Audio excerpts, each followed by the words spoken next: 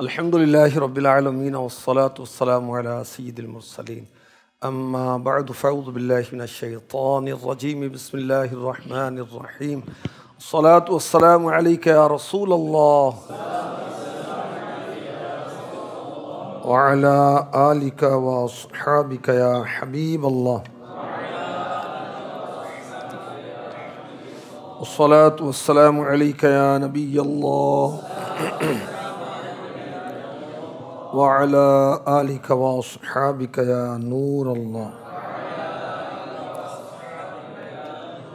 हमारा मदरी मकसद क्या है? मुझे अपनी और सारी दुनिया के लोगों की इसलाह की कोशिश करनी है।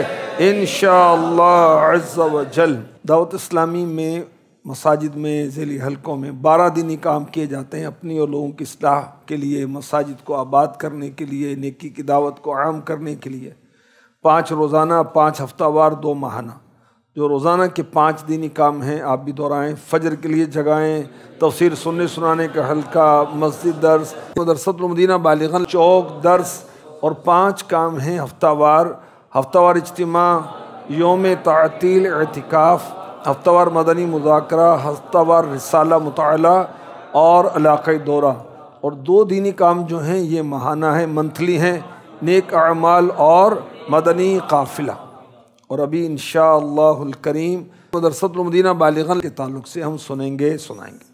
दावत इस्लामी के दीनी माहौल में तालीम कुरान को आम करने के लिए बड़ी उम्र के इस टाइम भाइयों को दुरुस्त मखारिज के साथ कुरान पाक पढ़ाने का जो शोबा कायम है, उसको कहते हैं। मदरसतमदीना बालिगन, ये इसकी तंजीमी तरकीब है। निगरान मजलिस, फिर रीजन सतह पर ज़िम्मेदार होते हैं, फिर जोन पर, फिर काबीना डिवीज़न इलाका और मुदर्रिस। बुखारी शरीफ में फरमान मुस्तफ़ा सल्लल्लाहु अलैहि वसल्लम जो नकल किया गया, वो है, खैरुकुम मन तल्लमक़ुरान वल्लमहू तुम में से बेहतर शख्स वो है जो कुरान सीखे और दूसरों को सिखाए इस हदीस की शरह जो मिरात शर मिशकात में है, कुरान सीखने सिखाने में बहुत वसअत है। बच्चों को कुरान के हिज्जे रोज़ाना सिखाना, कारियों का तजवीज़ सीखना सिखाना का कुरानी अहकाम बजरिया हदीस व फ़िक सीखना सिखाना, सूफिया कराम का असरार और रमूज़ कुरान बसलस तरीक़ा सीखना सिखाना, सब कुरान की ही तालीम सिर्फ़ अल्फाज कुरान की तालीम मुराद नहीं। ये हदीस फ़ुकाहा के इस फरमान के ख़िलाफ़ नहीं कि फ़िक सीखना तिलावत कुरान से अफजल है, क्योंकि फ़िक अहकाम कुरान से है और तिलावत में अल्फाज कुरान, क्योंकि कलामुल्लाह तमाम कलामों से अफजल है, लिहाजा इसकी तालीम तमाम कामों से बेहतर और असरार कुरान, अल्फाज कुरान से अफजल है कि अल्फाज कुरान का नज़ुल हुजूर अनवर सल्लल्लाहु अलैहि वसल्लम के कान मुबारक पर हुआ और असरार अहकाम का नज़ुल हुजूर अनवर सल्लल्लाहु अलैहि वसल्लम के दिल पर हुआ। तिलावत से इल्म फ़िक अफजल है। रब ताला फरमाता है क़ल्बिक। अमल बिल कुरान, इल्म कुरान के बाद। लिहाजा आलिम आमिल से अफजल है। आदम इस्लाम आलिम थे, फरिश्ते आमिल। मगर हज़रत आदम सलाम अफजल व मसजूद रहे। मसजूद यानी जिनको सजदा किया जाए। कुरान पाक रब ताला की तरफ़ से नाजिल हुआ। जबरील अमी लेकर हाजिर होते थे और मेरे आका सलाम के कल्ब अतहर पर नाजिल हुआ। तेईस साल के अरसे में प्यारे आका सल्लल्लाहु अलैहि वसल्लम ने जब ऐलान नबूत फरमाया, आपकी मुबारक उम्र थी चालीस साल और तेईस साल नजुल कुरान का अरसा रहा और तिरसठ साल की उम्र में हमारे प्यारे अकाली सलातम ने दुनिया से पर्दा फरमाया। साहबा को प्यारे अकाली सलातम ने कुरान सिखाया। साहबा ने दिगर साहबा को, ताबईन को तब ताबईन को, और इस सिलसिला चलता चलता चलता आज के दौर तक पहुँचा। अल्हम्दुलिल्लाह। हज़रत अब्दुल्ला इबन मसऊद रदी अल्लाह फरमाते हैं, मैंने हजूर अलैहि वसल्लम से सत्तर सूरतें सीखीं। असहाब सुफ़ा ये वो सदतमंद लोग हैं जिन्होंने डायरेक्टली अल्लाह के हबीब से कुरान सीखा। असहाब सुफ़ा में एक सहाबी हज़रत सैन अबू सईद खुदरी रदी अल्लाह फरमाते एक मरतबा हजूर पाक सल्लल्लाहु अलैहि वसल्लम हमारे पास तशरीफ़ लाए, जबकि हम मुसलमानों में सबसे गरीब थे। एक आदमी हमें कुरान सुना रहा था और हमारे लिए दुआ कर रहा था। मेरा ख्याल है कि आप सल्लल्लाहु अलैहि वसल्लम किसी को सही तरह देख ना पाए थे। क्योंकि लिबास मुकम्मल ना होने की वजह से हम एक दूसरे से खुद को छुपाते थे। आप सल्लल्लाहु अलैहि वसल्लम ने हाथ से हल्का बनाने का इशारा फरमाया। तो सब आपके गिर्द हल्का बनाकर बैठ गए। फिर आपने इस्तफसार फरमाया। तुम क्या कर रहे थे? अर्ज़ की, ये आदमी हमें कुरान सुना रहा था और हमारे लिए दुआ कर रहा था। इरशाद फरमाया, इसी तरह करो जिस तरह कर रहे थे। फिर इरशाद फरमाया, तमाम तारीफ़ें अल्लाह पाक के लिए हैं जिसने मेरी उम्मत में ऐसे लोग शामिल किए जिनके साथ मुझे भी बैठने का हुक्म इरशाद फरमाया। तो असहाब सुफ़ा भी खुश नसीब हैं, जिन्होंने प्यारे आकल सलाम से कुरान सीखा। सहाब सुफ़ा वो सहाबा हैं कि कबूल इस्लाम का शरफ़ हासिल किया। तो अब ये मुसाफिर थे, मदीन पाक में इनके लिए कोई रिश्तेदार नहीं थे, कोई जानने वाले नहीं थे जहाँ क़याम करते। तो मस्जिद नबवी में ही इनके लिए एक चबूतरा बना तो वहाँ पर ये तशरीफ़ फरमा रहते थे। और शादी होने के बाद या घर वापसी के बाद इनमें तादाद की कमी बेशी रहती थी। अब ये वो इस्लाम का अव्वल मदरसा है जिसके मुतम जो हैं, सहाबा हैं और मुअल्लिम महबूब रब कायनात हैं, सल्लल्लाहु अलैहि वसल्लम। तो सरकार मदीना सल्लल्लाहु अलैहि वसल्लम ने सहाबा को कुरान सिखाया भी और इन्हें भेजा भी मुख्तलिफ़ शहरों में, मुख्तलिफ़ मुल्कों में ताकि तालीम कुरान आम हो जाए। मुस्लिम शरीफ में है, हज़रत मुसब बिन उमैर रदी अल्लाह ये मदीन पाक के पहले मुबलग हैं। आकली सलातम ने इन्हें मदीना पाक रवाना किया। सत्तर अंसारी सहाबा को तालीम कुरान के लिए रवाना फरमाया। ये भी तो हज़रत मुसब बिन उमैर रदी अल्लाह मदीने पाक पहुँचे तो आप कारी कुरान के नाम से मशहूर हो गए। लोगों को कुरान सिखाते थे। हज़रत सैदना अबू मूसा अशरी रदी अल्लाह के बारे में आता है कि आप प्यारे अकाल सलातम के हुक्म पर लब्बैक कहते हुए लोगों को कुरान करीम सिखाने के लिए यमन तशरीफ़ ले गए। सुबहान अल्लाह एक साहबी मदीने पाक गए और एक यमन गए तालीम कुरान के लिए। इस तरह और बहुत सारे सहाबा असला बुज़ुर्ग इनके भी वाक़ात हैं कि ये कुरान पाक की तालीम को आम करने के लिए गए।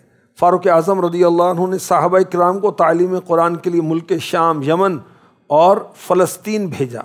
हज़रत अबू दरदा रदी अल्लाह तालीम कुरान को आम करने के लिए दिमश्क पहुँचे। ये मुल्क शाम का कैपिटल दारुलखिलाफ़ा आपने जाम मस्जिद दिमश्क में फ़जर की नमाज़ के बाद रोज़ाना सैकड़ों मुसलमानों को कुरान पढ़ाया। और क्योंकि पढ़ने वाले बहुत थे तो दस दस के हलके बनाए और हर हलके पर एक ज़िम्मेदार बनाया। वो निगरान इनको पढ़ाता और आप महराम में खड़े होकर सबकी निगरानी फरमाते। अगर कोई शख्स गलती करता तो हल्का निगरान उनकी असलाह फरमाते। और जब हल्का निगरान गलती करता दिखाई देता तो हज़रत अबू दरदा रदी अल्लाह उनकी असलाह फरमाते। कुरान पाक पढ़ने वालों का शुमार किया गया तो उस वक्त उसकी तादाद एक हज़ार छः सौ से भी जायद की थी। हज़रत सैना अबू अब्दुलरहमान अब्दुल्ला बिन हबीब सलमी रहमत इन्होंने चालीस साल मस्जिद में कुरान पढ़ाया। और फरमाया करते थे कि मुझे मस्जिद में कुरान पढ़ाने के लिए फरमान मुस्तफ़ा ने बिठा रखा है। खैरुकुम मन तल्लमक़ुरान हो इस फरमान ने मुझे मस्जिद में बिठा रखा है। चालीस साल इन्होंने इस्तकामत के साथ कुरान पढ़ाया।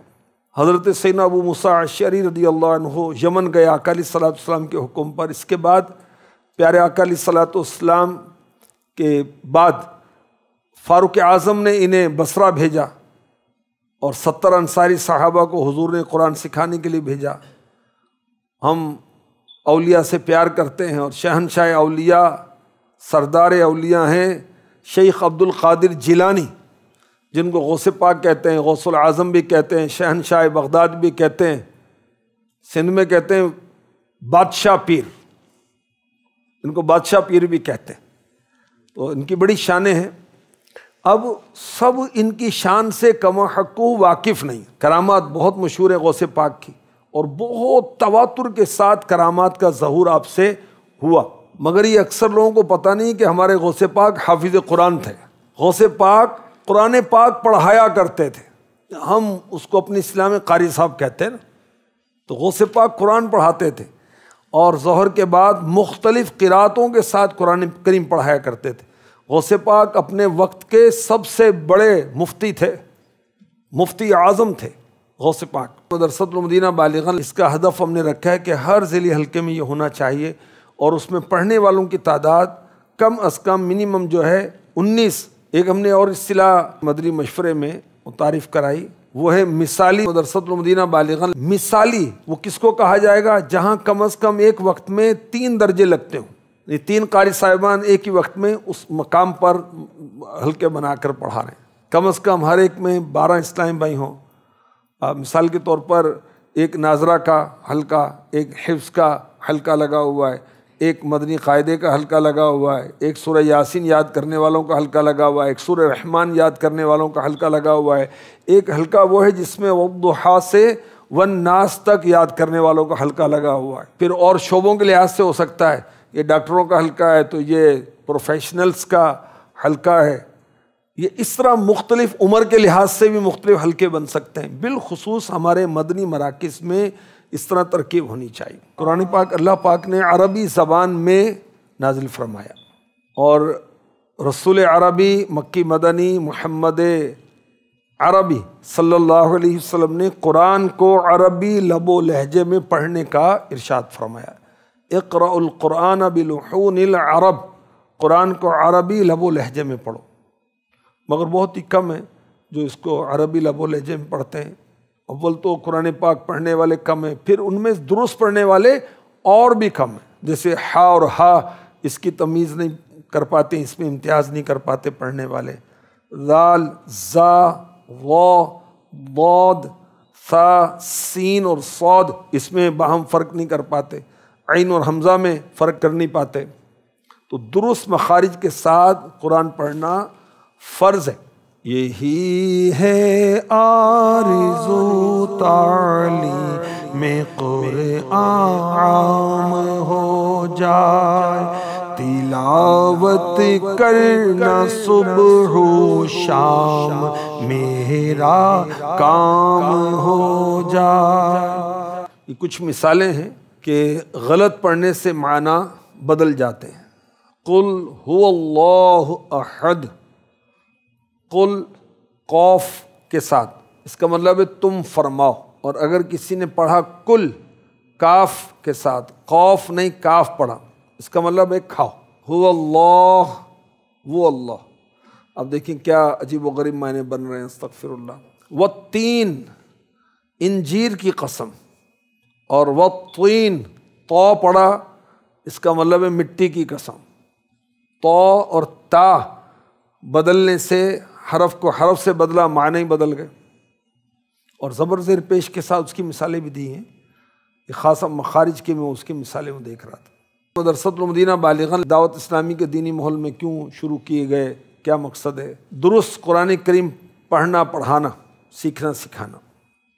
और ये जो पढ़ने वाले हैं इन पर इनफरादी कोशिश इज्तमाही कोशिश करके इनको मुबलिक बनाना, दावत इस्लामी का जुज़ बनाना, खौफ खुदा और इश्क रसूल का पैकर बनाना, इनको नमाज़ सिखाना, दुआएँ याद करना, नमाज़ के अहकाम से ज़रूरी मसाइल सिखाना, ये मकासद। मदरसतमदीना बालिगन का शुरू क्या है?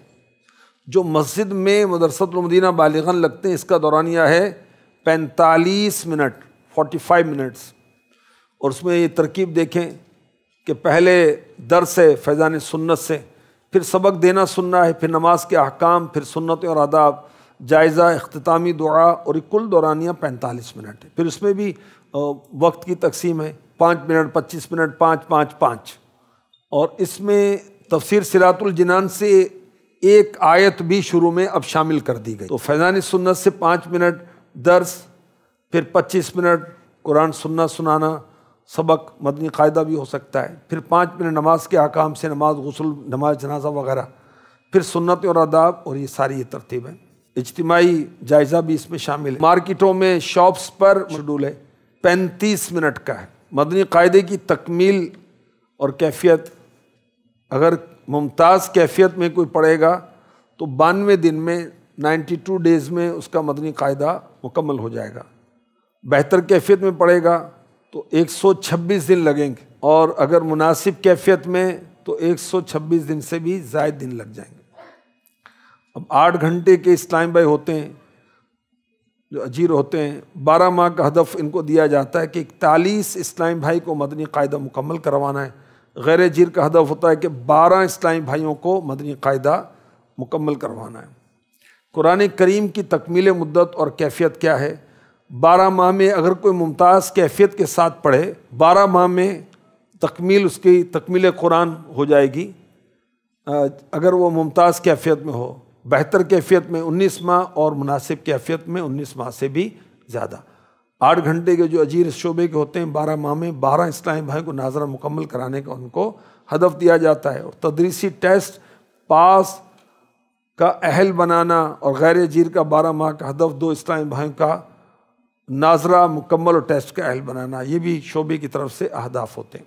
जहाँ मदरसतुलमदीना बालिगान की तरकीब है तो उसके बाहर नुमाया जगह पर तरगीबी पैनाफ्लेक्स और उसकी तहरीर है, ताकि लोगों को पता चले कि यहाँ तालीम कुरान का सिलसिला होता है और लोग इस तरफ़ माइल हो। पढ़ने वालों की तादाद अगर बढ़ाना चाहें तो ये उसके ज़राए हैं कि नुमाया जगह पर मेन एंट्रेंस पर पैनाफ्लेक्स लगाए।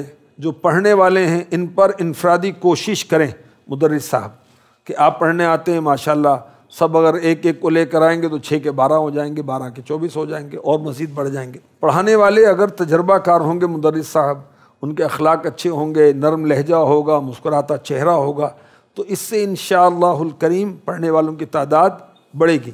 जो निगरान है, ज़ैली सतह पर, हल्का सतह पर इलाका सतह पर, डिवीज़न सतह पर, काबीना सतह पर वो वक्ता फ़वक्ता आते रहें और तरगीबात देते रहें तो इससे भी इन करीम तादाद बढ़ेगी। हफ़्ते में एक दिन जो है इलाक़ाई दौरा करें मुदरस साहब, इस्लामी भाइयों को लेकर, या किसी अहम जिम्मेदार से वक्त लेकर तरकीब करें। जो नहीं आते, पहले आते थे, अब नहीं आ रहे, उनके घर भी चले जाएँ, नए लोगों के पास भी चले जाएँ।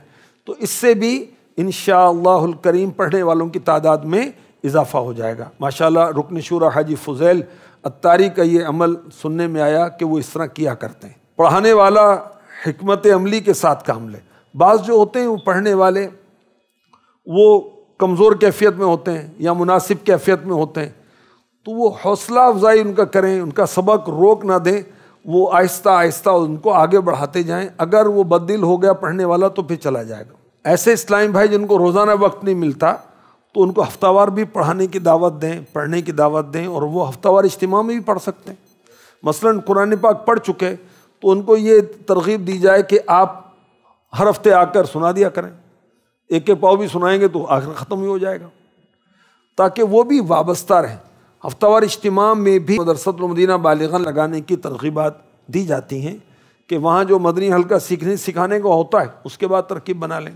दुकानों में, घरों में भी ज़रूरत इसकी तरकीब की जाती है। और शुरा को माशाल्लाह मुरीद बनने का जहन भी दिया जाता है। तादाद कम क्यों हो जाती? जो पढ़ाने वाले हैं, इनकी गैर हाज़िरी। या वक्त की पाबंदी ना करना। मसला लेट आना।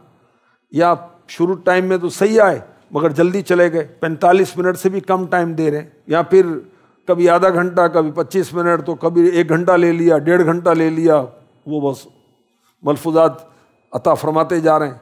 आज ही सब कुछ सिखाना चाह रहे हैं। तो इससे भी वो कहते हैं आज इतना टाइम हो गया तो अब कल वे छुट्टी करेंगे भाई। यूँ भी छुट्टी हो जाती है। यकसा सलूक नहीं करते अगर मुदरस साहब तो यूँ भी तादाद कम हो सकती है। अगर सख्ती करेंगे तो भी पढ़ने वाल, वाले जो हैं हो सकता है फिर आइंदा ना आए। हौसला अफजाई नहीं करेंगे तो इसकी वजह से भी तादाद कम होगी। सबके सामने यार देखो कितनी उम्र हो गई आपकी यार। अभी तक आपको आइन ही नहीं अदा हो रहा।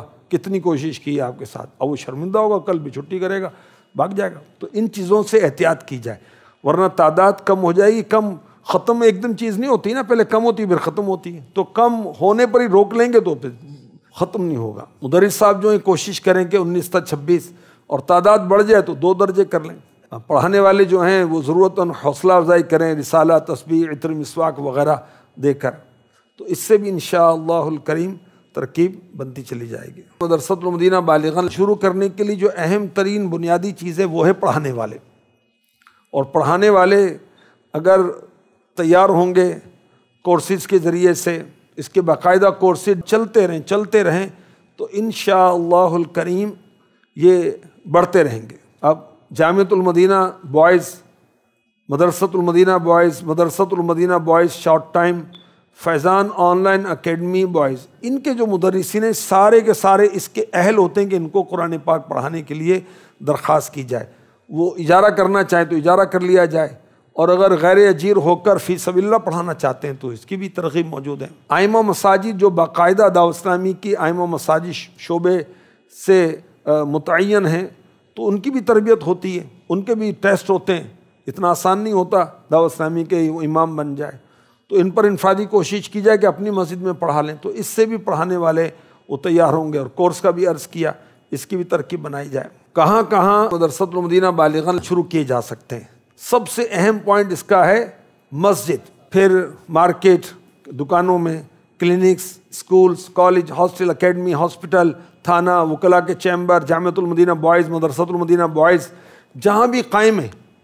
अब उनका जो दौरानिया है वो साढ़े बारह, एक बजे फारिग हो गए।